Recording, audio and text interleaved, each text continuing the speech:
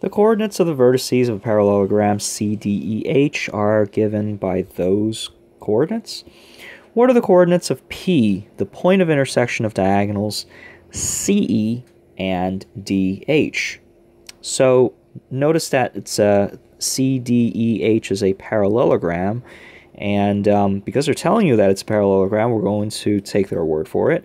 Um, what has to be true about the intersections of CE and DH is the intersection is going to be the midpoints of both line segments. So what we have to do is all we got to do is find out what is the midpoint of CE.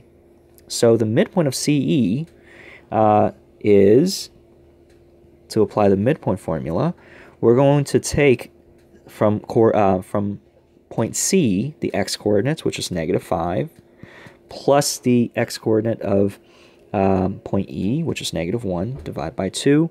We're going to take the y-coordinates of point C, which is 5, and add that with the y-coordinates of E, which is negative 1, divide by 2. The midpoint of CE, therefore, is going to be negative 3, comma 2. And this is going to be the common point uh, between both diagonals. This is where the two diagonals are supposed to intersect because both diagonals in a parallelogram are supposed to bisect each other. And do we have that here? That is actually answer choice 3.